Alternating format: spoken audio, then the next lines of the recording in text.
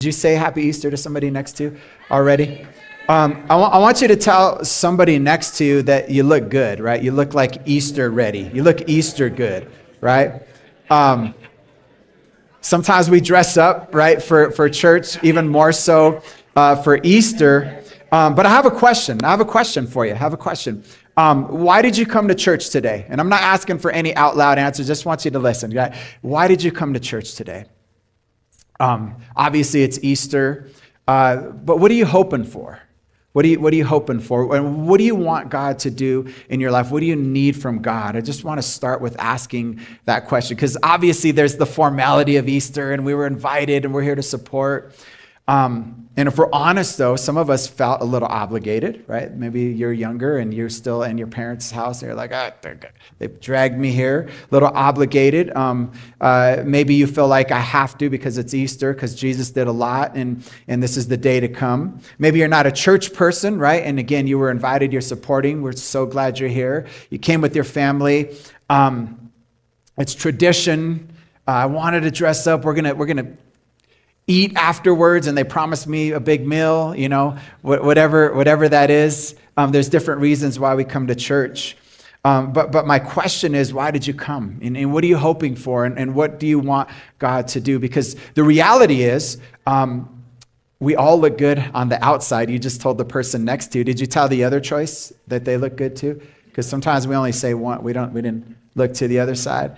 Um, we all look good on the outside, but for many of us, and if you're like me, if you're human, um, there may be some areas of your life where you're hurting a little bit, where you're going through some through some drama, maybe some loss, uh, maybe today there's some guilt in your heart. Maybe there's some shame. Uh, maybe you feel, even though you're here with everybody, you still feel alone. Maybe there's anxiety. Maybe there is issues going on in, in the marriage. Maybe you have a health condition. Maybe there's financial issues. And there's all these different reasons that we uh, uh may be um, broken on the inside, right? And even though we look good on the outside, and so I want to just start by saying no matter why you came to church today, that Jesus has a promise that speaks directly to you, and especially if you have some, some kind of pain. Um, this series that we're starting today is going to be amazing. We're going to talk about promises that Jesus uh, left us with, and how many thank God for his promises. Um, we're going to we're gonna talk about next week Jesus promises that you will know his voice. We're going to go on. We'll take a week off when we do our, our church connect, but we'll come back and go to John, Jesus promises to be with you always. That Jesus promises to be with you always. He promises to give you peace. He promises that you don't have to worry. How many are, are worriers, worriers? Like I had this nightmare that the internet went down before I got to church. And it's like, you know, it was crazy, but it didn't. And God is good. We would have still had church anyway. Uh, but Jesus promises you also to give you rest. And these are things that we're going to talk about today. Um, we're going to pro- we're going to talk about how Jesus promised that he promised that he loves you and he loves you. He loves you. And we're, and we're not, I'm going to start with the one of the most famous scriptures in all of the Bible. In fact, you see Tim Tebow with this on sometimes under his eyes. He, he wears that. How many remember that? Uh, John 3.16, we could probably all quote it by memory, but let's, let's read this together. Um, it says, For this is how God loved the world. He gave his what? His one and only son that everyone who believes in him will not perish but have eternal life. This is the most important scripture in, in, all of the Bible, I believe. And how many believe that God loves the world? How many believe that He loves everybody, right? He loves everybody. We're, we're not here to judge anybody, to judge any lifestyle, to judge any, any choices, to judge any addictions. To ju- we're here to say that, that God loves you, we love you, right? But the problem, if you're like me, um, I've always believed that God loves the world, but sometimes I have a hard time believing that He loves me. Has anybody ever been there? Because you know you, I know me. Like I know what goes on up in this bald head of mine, right? I, I, know the craziness, the thoughts that can go through my mind, the, the anger, the, the, the anxiety, the different things that I deal with. And sometimes I don't feel like God, I'm worthy that, that God would love me. And, and the reality is, I think we all go through this. But I love um, what St. Augustine said. He said, God loves each of us as if there were only one of us. And that is my heart today. That is my goal today that you would leave here knowing that you're not a number, that you're not just another person, that you're not just an accident, but that you are loved by God. You as an individual. And I want to show you today that you are the one that Jesus loves. In Luke chapter 15, verse 5, Scripture says this If a man has a hundred sheep and one of them gets lost, what will he do? Will he leave the 99 others in the wilderness and go search for the one that is lost until he finds it? Right? This is this, this parable that, that Jesus is giving. And, and here's, here, here's what Jesus does when he finds the one. When he finds the one, and that's us today, he, he puts that one on his shoulders. There's this painting that is famous for Jesus putting the lamb on his shoulders, the lost sheep, rather. And I want you to know today, above anything else, that however you're feeling, whatever you're dealing with, whether you feel worthy or not, that that's you right there. That if you feel lost, that Jesus will find you, that Jesus loves you, that Jesus will carry you. In Luke chapter 5, 15, verse 7, moving on, it says that in the same way, there was more joy in heaven over what? One right? Over one lost sinner who repents and returns to God than over 99 others who are righteous and haven't strayed away. This means that if you are straying, right? If you are feeling alone, if you are feeling that God doesn't love, like you're actually a highlight to Him. That you actually in a, in a good place, that God loves, loves, loves, loves you. He loves you. And D- Jesus, he didn't just promise to love us, he proved his love. In 1 John 4 8, it said, God, it says, God is love. This is how he showed his love among us. He sent his who? His one and only Son into the world that we might live through him. This love, not that we loved God, but that he loved us, sent his Son as an atoning sacrifice for our sins. I'm so grateful that, that God did this. And I heard something, somebody say recently that Jesus died for a maybe. And, and, and what he meant by that and, and, and what, what, what that means is you may or may not love him back. You may or may not receive him. You have a choice. But he still came to die for us that in hopes that you will choose him. And I don't know about you, but that does something to me when I hear, when I heard it phrased that way that Jesus died for a maybe. Jesus died in case I would be uh, humble enough to come to his feet and accept him. And that says something about our Savior that he took a risk on the whole world that he took a risk on everyone. And that, that love isn't just what God does, but love is who he is. It's who he is. This is a powerful verse. And it's, it's, it's way more. I want to read you a verse that's incredibly powerful, but even more powerful when you know who wrote it. In the book of First John, um, does anybody know who wrote John? It's not, it's not a trick question. It's John, right? I know you knew. I knew you knew it. I knew you knew it. You just didn't want to be the first one to be like, just in case it's not John. I don't want to say it, right? Just in case. But John wrote John.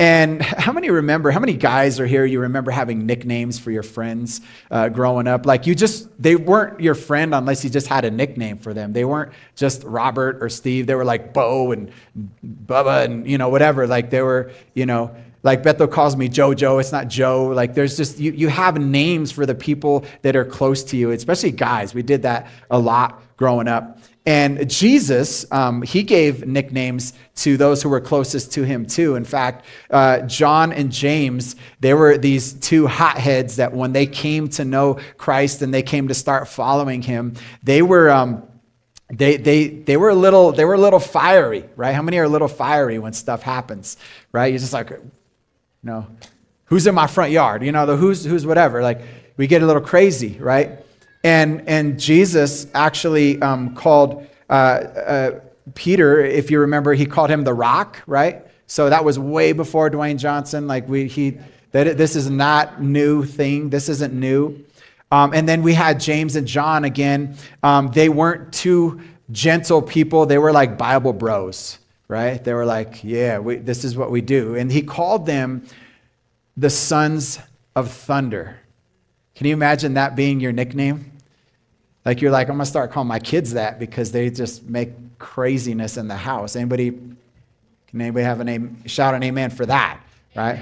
Or when your kids were younger, you remember, right? They used to get a little crazy. Um, but why the sons of thunder? Um, there's a glimpse of this in, in Luke chapter 9. Luke tells us that um, there was a Samaritan village that was rejecting Jesus. They were going to this village and they're like, You're not allowed here. Luke chapter 9, verse 54 says, When the disciples, James and John, saw this, they asked, Lord, do you want us to call fire down from heaven and destroy them? So here they are going to preach about peace and about love, and they're like, You don't belong here. And they're like, Do you want us to kill them? I mean, because you kind of gave us some, like, right? Like, really? Like, this is the kind of people they were. But, but listen, their whole lives they were like this. How many just have that in them, right? Right? Their whole lives they were like this. And, and James and John, I would imagine, they were like the dads that would be kicked out of the basketball, their kids' basketball game or, or their kids' soccer game because they were just so mad at the refs for making bad calls, right? They, they, they were that dad. Anybody, anybody, is anybody that dad in here? All right, there's a few of you. There's a few of you. Um, they didn't wear, they didn't go wear Lululemon and eat, you know, uh, avocado toast together. They were like men's men. Okay, I'm telling you right now, they, they were they were this these guys. And then here's here's the deal though. Then John, he, he spent more time with Jesus.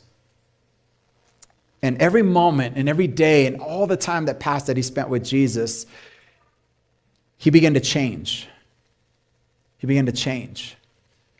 And isn't it true that the longer and the closer we get to Christ, we start to see things a little bit different? Maybe we have more patience. Maybe we have more faith, right? Just, just ask grandma who's been in church all her life. Something happens, it's going to be all right. You're like, how can you be so at peace? Because she's been there. She's been there. It's going to be okay. How? I don't know, but it is, right? Because She's been there. He's been there. They've been there. And they have seen God prove himself over and over and over again. And as John spent more time with Jesus, and we don't exactly know when, but his identity started to change. And him being the author of John, he started to refer to himself as the one that Jesus loved the one that Jesus loved. Not no longer the thun- sons of thunder, no longer the hothead, no longer the screw up, no longer the I, I, I have all the wrong answers and all the you know it, it's the one that Jesus loved. And and I want to ask you that question again. Why did you come to church today? And what are you hoping for? And what do you want God to do? What do you need? And my heart feels like somebody needs to hear that you're the one that Jesus loves. You're the one that Jesus loves. No matter what your parents told you growing up, no matter how somebody made you feel,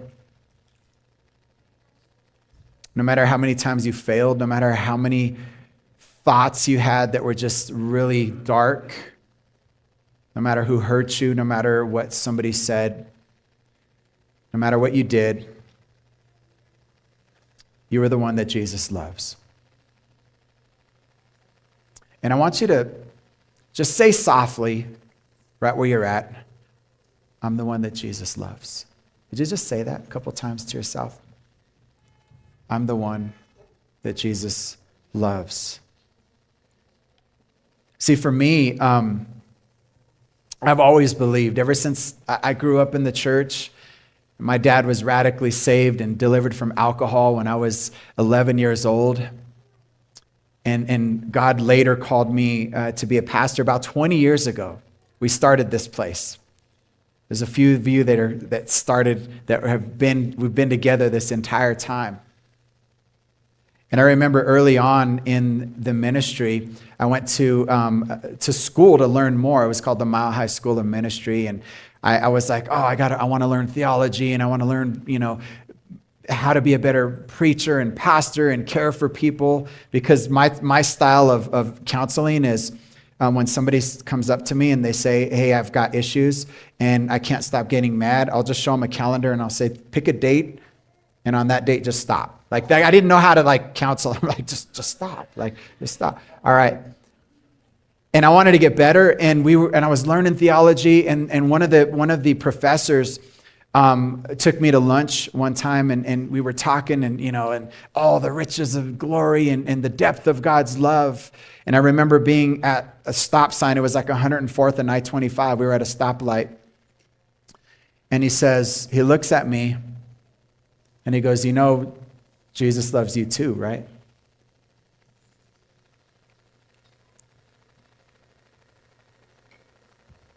And I broke. Because I, I, I, I've always been convinced that He loves everybody. And there's nothing that you can do to make God not love you.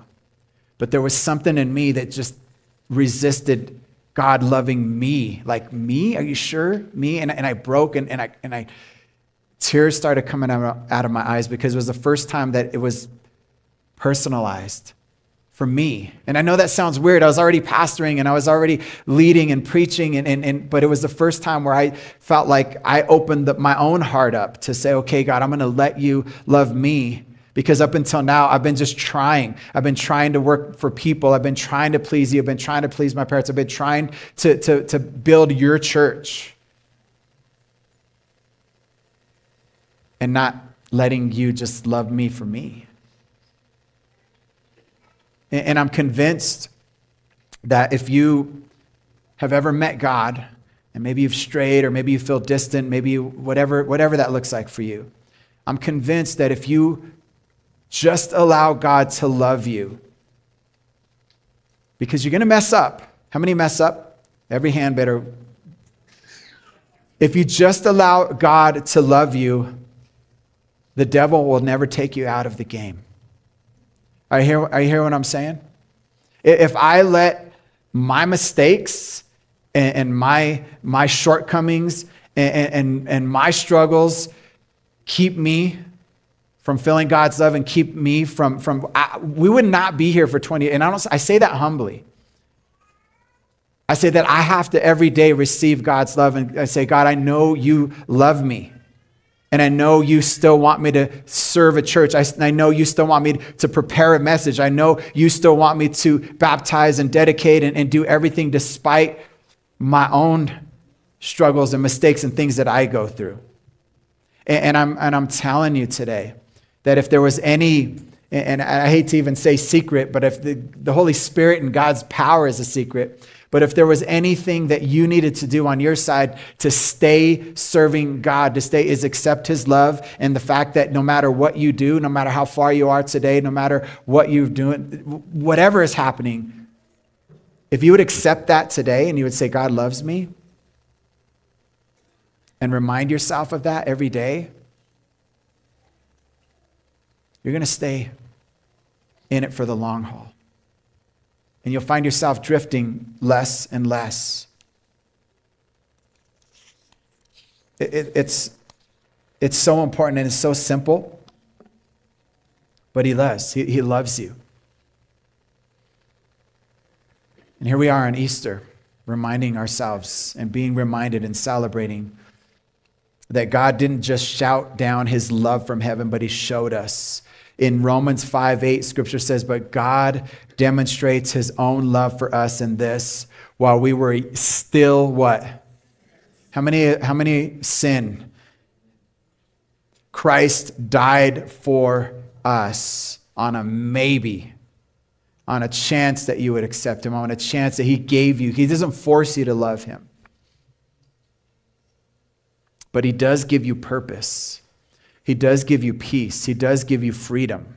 He does give you a meaning for life. You don't have to go searching around for what meaning, what meaning, uh, the, what the meaning of life is. You don't have to go to social media. You don't have to go for whatever is popular. You don't have to go for whatever the, the world is saying you should or shouldn't or try. God has the answer. He made you perfect.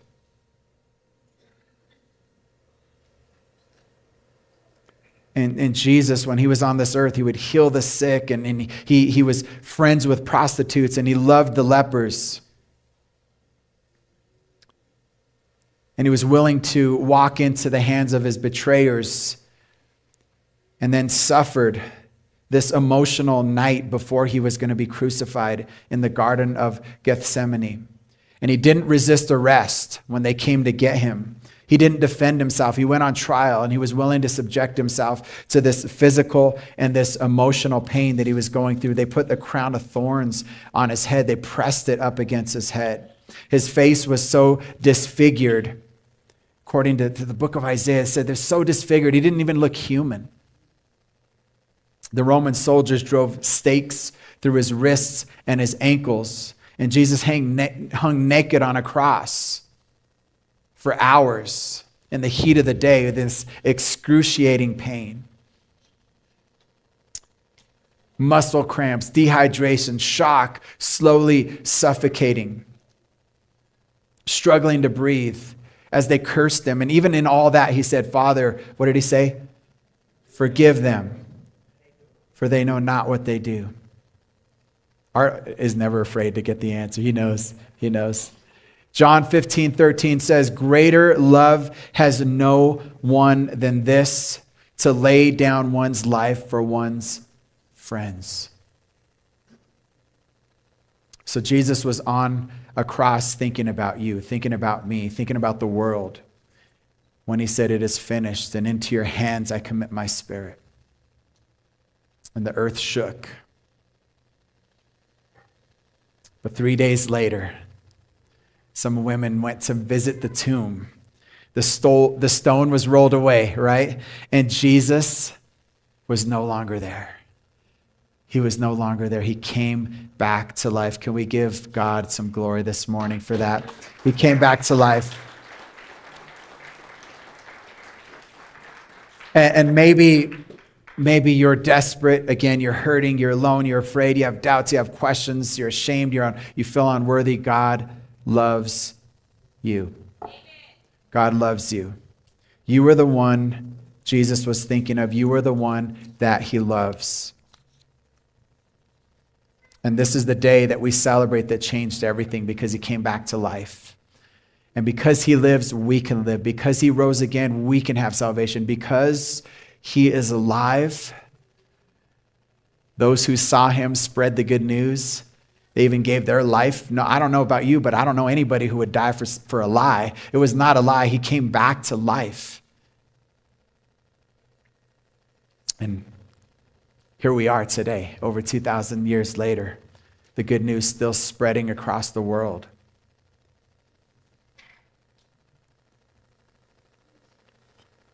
I want you to feel his love today.